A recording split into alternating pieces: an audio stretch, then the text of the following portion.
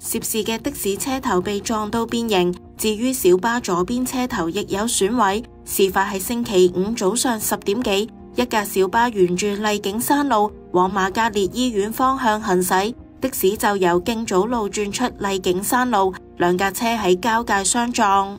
好多乘客睇到啊，车镜咪睇到，扭又睇避佢，打得避佢唔到，咁啊车头撞车头。啊！